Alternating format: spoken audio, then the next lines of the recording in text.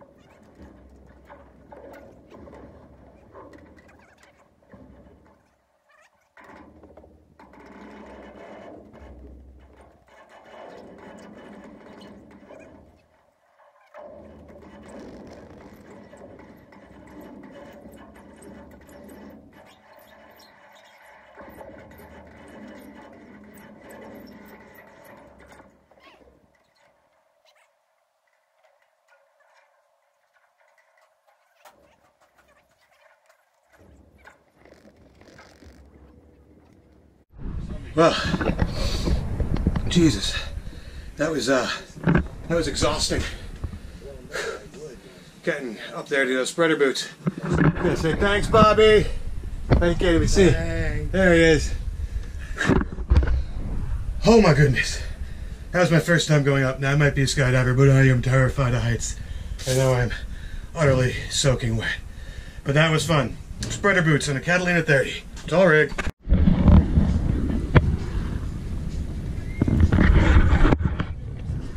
Friends on a boat are a lot of fun. Follow me, like and subscribe. Let's do it. Just like and subscribe. It's a lot of fun. Fun is fun.